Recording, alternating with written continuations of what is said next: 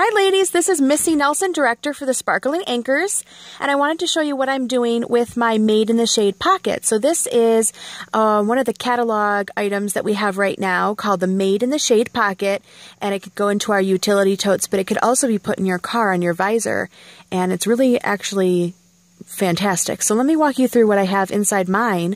Um, my main purpose for this is to keep my receipts for tax time in one place. So when my wallet is overflowing with receipts, I just grab them out of my wallet and I shove them literally. I shove them. Wah! Okay, so you guys get the hint, right?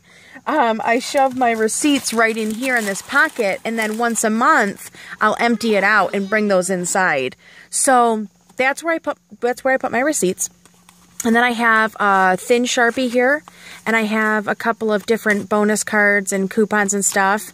I have my lip balm and um, lipstick up here in this mesh. And then over here I have suckers to bribe my bribe my children in the car and and a checkbook. So um, just a quick kind of tip about tax time. Keep your receipts up there and then just bring them in as soon as you can.